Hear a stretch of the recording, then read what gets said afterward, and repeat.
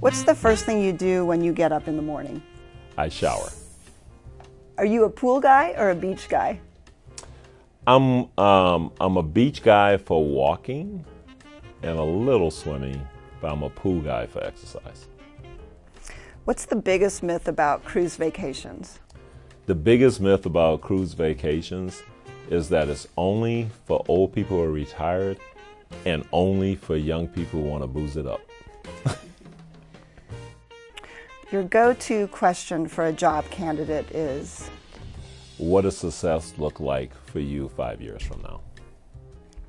You used to be known as something of a card shark. Poker or blackjack? It was blackjack, but I was no shark. Booze cruise or adventure cruise? Um, adventure cruise more for me. The best way to run a meeting is To be in listening mode. What's the one thing you should never say to a ship's captain? Fire. Unless there really is one. Yeah.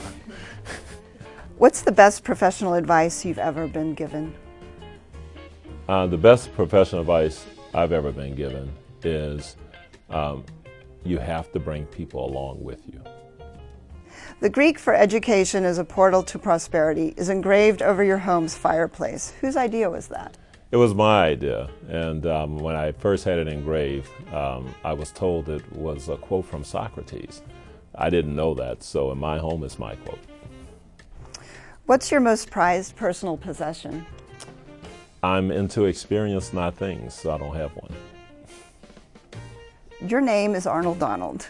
How often do people call you Donald Arnold? About 50% of the time.